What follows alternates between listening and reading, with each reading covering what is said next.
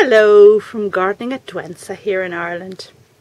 And this is an update on some of my orchids, this time mostly Cattleyas.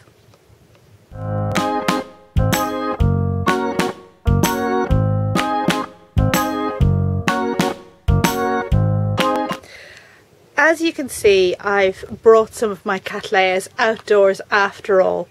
And the reason was that I sprayed a number of them against thrips with the chemical you saw in the last video. And while they were out here, I just thought, oh, I know, I'll put them in a, a kind of sheltered corner and um, just leave them out, even just for a week or two. And possibly, you know, that'll do them some good. Besides, I'm a great believer in the old adage that you know, putting plants outdoors is the best cure for many an ailment. And um, yeah, so while these plants are out here and easily accessible, I thought I'd just give you an update on these ones. The wooden shelving you see over there against the house is where I put my cymbidiums this year and these have been out for several months. The wooden shelving is actually attached to the house with a couple of nails but this corner really gets like it doesn't get direct sun and it doesn't get any rain so it's been a good place to keep them.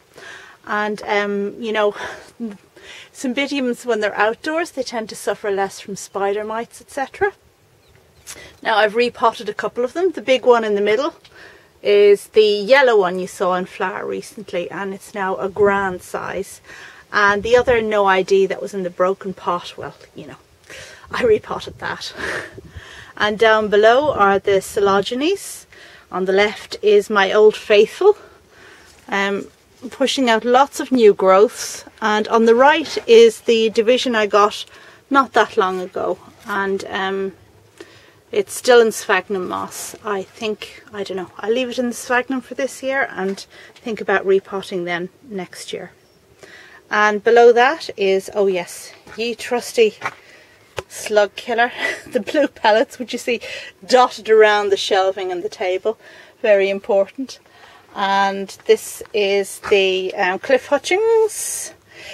Um, lovely um, Cymbidium. And the black one, Cali Nights Geyserland, is here on the table. So starting over on the left we have the Angræcum I got from Orchids and More last year was it last year? If I can find the link to the video, I'll put it up above. And this is um, Crestwood Tomorrow Star.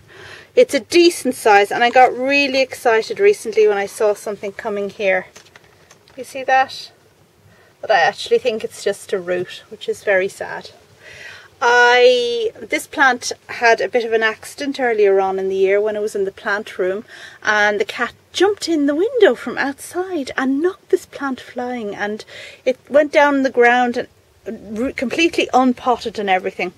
And um, when I repotted it it suffered a bit. The roots seemed to shrivel. It really didn't like that kind of abuse at all. But it seems to be well it seems to be perking up now and directly in front of it in the basket is uh, Laelia anceps that I got last autumn from Orchids and More in Germany. And I eventually settled on potting it in this oddly shaped aquatic basket because it is a very oddly shaped plant. And it has three new growths. One two and yeah this this one here. So it's doing well behind it is the brassia I got this spring from a friend of mine and it has two new growths, so doing well. Here we have Cattleya Coastal Sunrise, which has recently been divided. And when I divided it, of course, I broke a new growth because, well, yeah, a mistake, obviously. But it does have another one there. And there's an eye around here, which I hope will, um, well, kick into growth now. So moving over to the right, Golf Green Hairy Pig. Um, matured a growth a while ago, now doing nothing, but it looks healthy enough. Uh, an epidendrum. Uh, this one has been sprayed. It did have the thrips there. And behind we have Encyclia Hanbury. Hanbury, is it? Yes, Hanbury, also from Orchids and More. I think this came with the uh, Angræcum. And this is a decent plant, pushing up two new growths, so I look forward to a flowering this year. Behind it is the Cattleya with the mauve flowers that flowered for me in spring that I've had for a good number of years.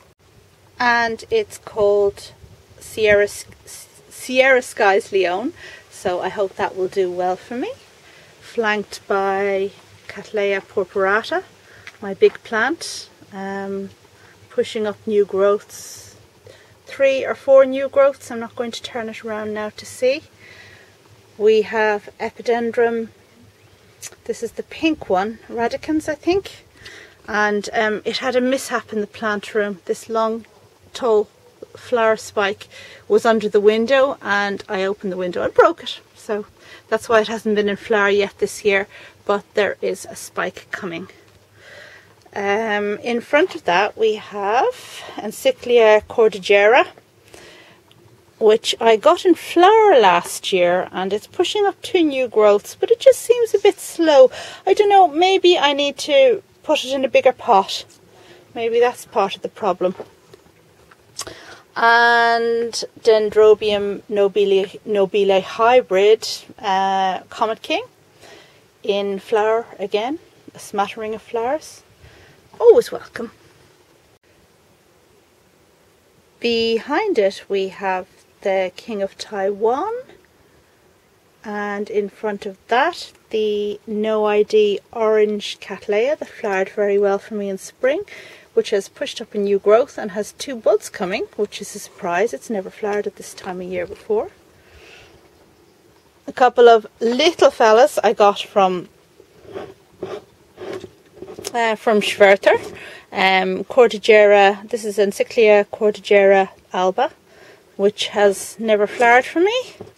And this one here, which is a small um, epidendrum cross, I believe anyway, called Gold Coast. And it has lovely orange flowers when it does flower. It's, it's a miniature. And here we have the um, the coconut orchid, the maxillaria that Miss Orchid Girl sent me last year but it has no sign of flowering, but it seems to be doing well. And then just finally we have Oncidium sotoanum, the pink one that, that has sprays of pink flowers and I actually divided this plant this spring to give a division to my friend. And uh, yeah, so hopefully it's enjoying the nice air. Okay, well that's all for the moment. I hope this update was useful and you enjoyed it? And if so check back for lots more uh, orchidy and gardening stuff. I'm inventing adjectives now but so it goes. And we'll just finish with a nice shot of these nobile flowers which are just lovely. Thanks very much for watching. Bye now